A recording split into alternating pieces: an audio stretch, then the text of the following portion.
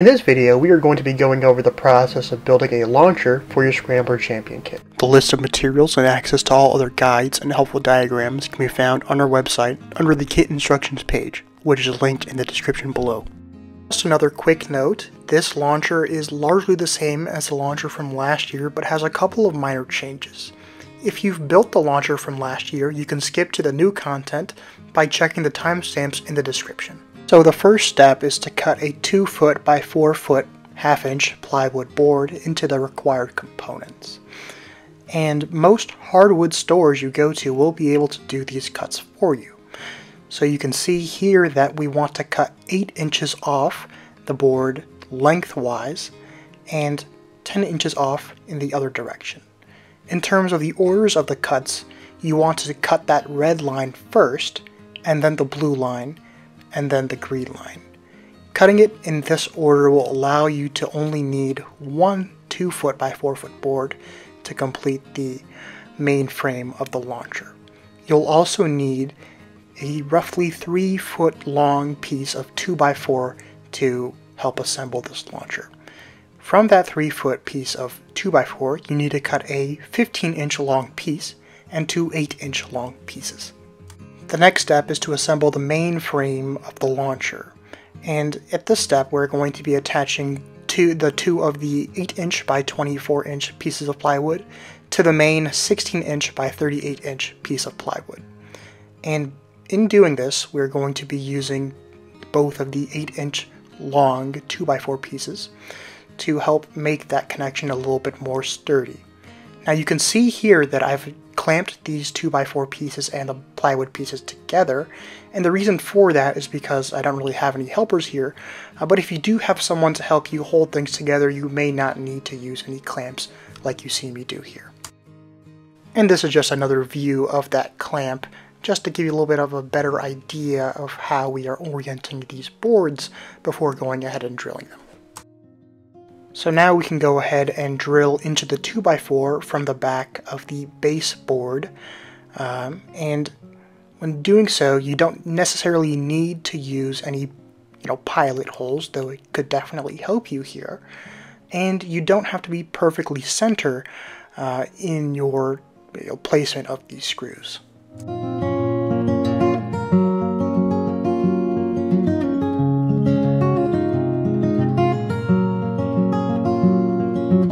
And now we can go ahead and drill another set of four screws into the other board that is making up this side of the frame.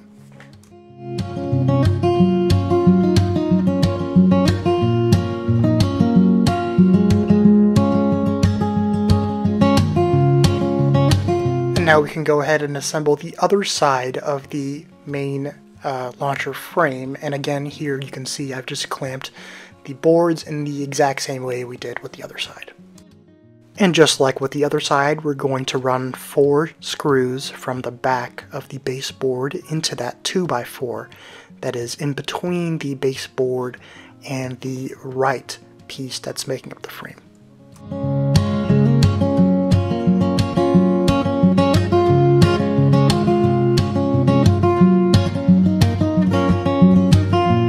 Finally we can run four more screws from that sideboard into the 2x4, and this completes the main frame of the launcher.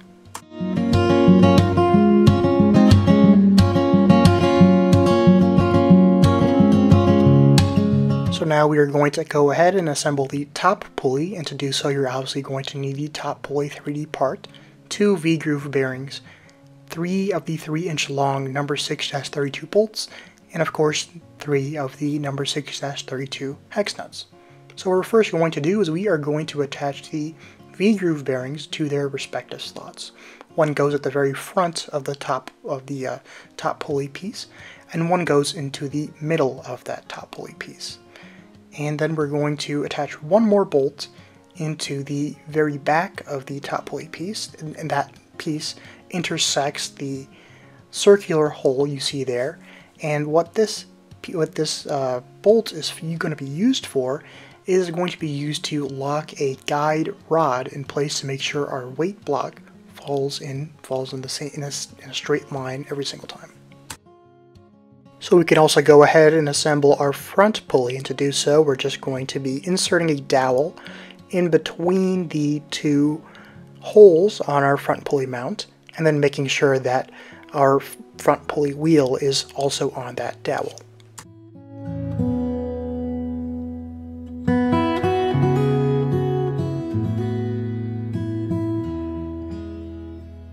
So now we can go ahead and attach our top pulley to the top of our baseboard. And when doing this, you want to make sure that your top pulley is centered on that baseboard.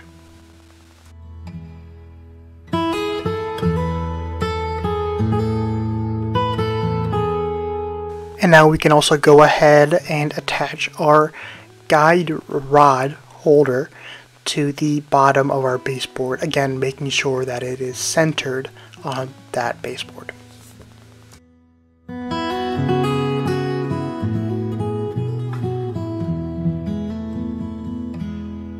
The next step is to cut a 5 16th inch diameter metal rod so that it, it fits from the circular slot in the rod holder that's on the bottom of the launcher to just under that bolt on the top pulley piece.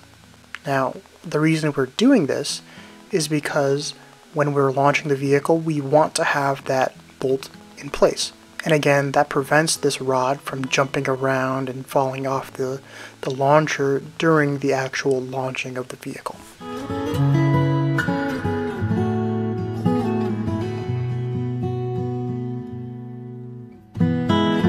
Next step is to cut our aluminum channels to size.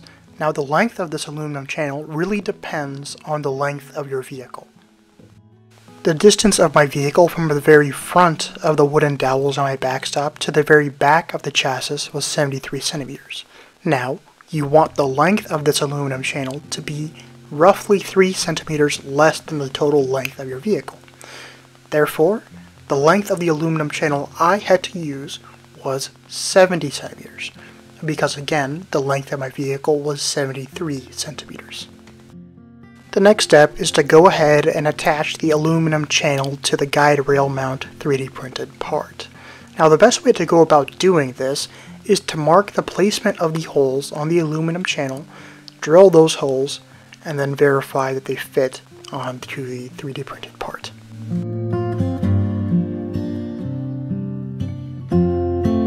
Now we can attach the aluminum channel to the 3D printed part using two 3 quarters inch long number 6-32 bolts and hex nuts.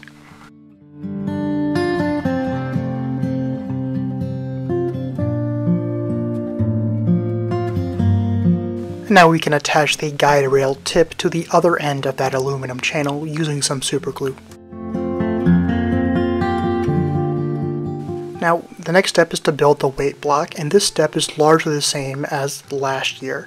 And the only main change that we've made here is we've now added a uh, block of wood to the very bottom of this weight block. And this serves two purposes. The first purpose is that it prevents the aluminum from deforming after multiple hours and multiple runs of testing where the weight block would hit the uh, guide rail holder and then deform.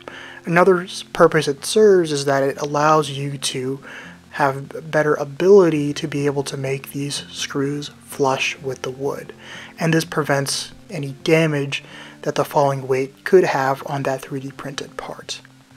Now, just a quick recap of what we're doing here is we've cut two pieces of aluminum angle, 3 quarters inch aluminum angle beams to 14 inches and we've cut a block of wood from our scrap plywood to be able to fit under these two aluminum angle beams.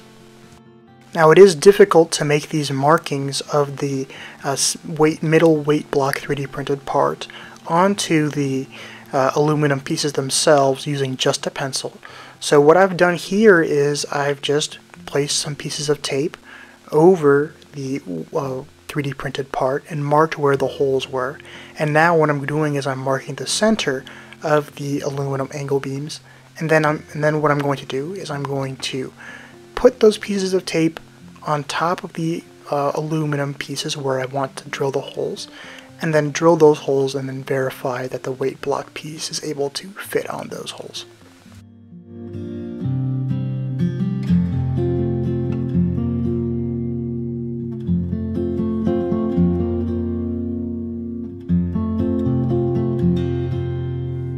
With my holes drilled, I can now go ahead and assemble the weight block. And to assemble the weight block, you're just going to need four of our one inch long drywall screws.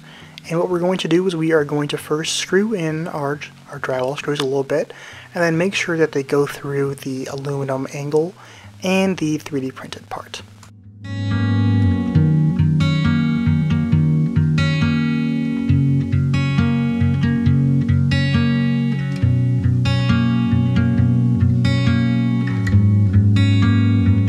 Now we can add our wheel weights to our weight block to make sure that we get as close to the 2 kilogram limit as possible without exceeding it.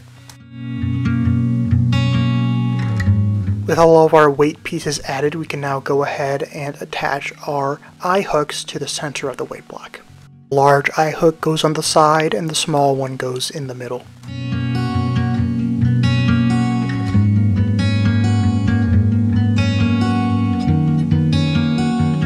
Now these weights have, these wheel weights, they do have an adhesive that allows them to stick very, to stick very well. Uh, however, for a little bit of extra reassurance, you can go ahead and wrap some duct tape around the the wheel weights and the weight block. And this is just to give you a little bit more reassurance that nothing falls when you're testing, so you don't get any competition or construction violations.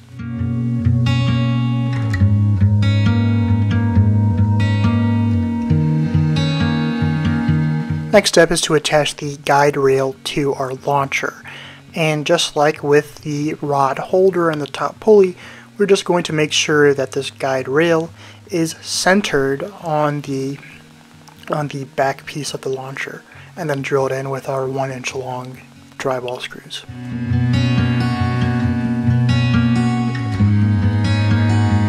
So now what you'll notice if you look at the back of the launcher you'll notice some of those screws sticking out.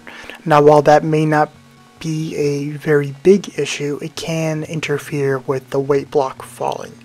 So what you want to do is if you have a file on hand or you have some bolt cutters on hand, you want to go ahead and cut off those ends of the screws. Now we're going to go ahead and attach the front pulley to the launcher and the first thing we're going to do is we are going to attach our vehicle uh, excuse me, insert our vehicle onto the guide rail. And what this is going to do is going to allow us to make sure that our positioning of this front pulley is actually accurate.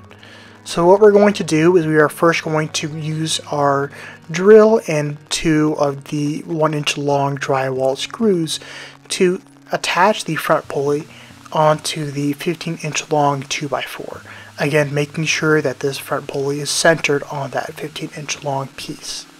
Afterwards, we can go ahead and drill these, this uh, piece onto the uh, launcher itself.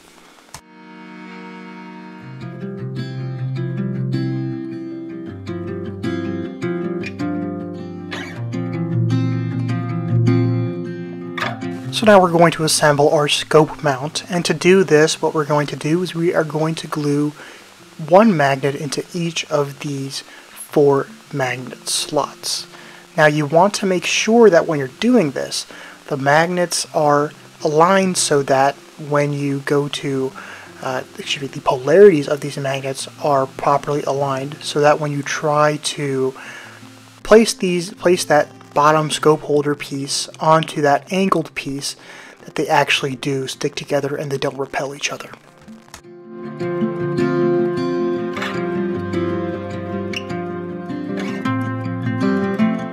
And now using four 20 millimeter long M3 bolts, we can secure the scope to the scope holder using the bottom and top 3D printed scope holder pieces.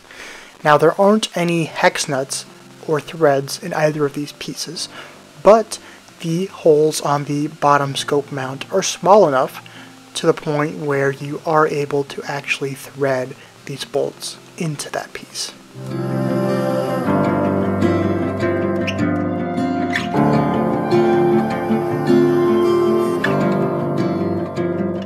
The last step is to attach our mount to the launcher. And the only change here with the screws is that you will need one 2 inch long drywall screw to mount that very front hole of the scope mount. Now it doesn't matter if you put your uh, if to put the mount on the right side or the left side. The only thing that will affect is whether you would want your vehicle to curve to the right or to the left. Here I'm mounting the scope on the right hand side of the launcher and because I'm mounting it on the right hand side of the launcher I would want my vehicle to curve towards the right. Now oppositely or conversely if you mount your scope on the left you would want your vehicle to curve towards the left.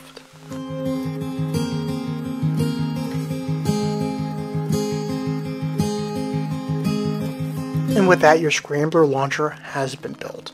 Please check out our other videos regarding how to build your vehicle and how to calibrate your Scrambler. With that said, thank you all for watching and stay Unphayzed.